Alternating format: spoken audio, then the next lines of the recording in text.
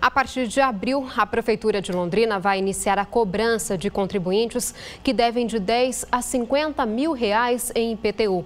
Os inadimplentes serão intimados a quitar os valores. Caso contrário, os débitos serão executados ou protestados. O total da dívida desse grupo chega a 50 milhões de reais.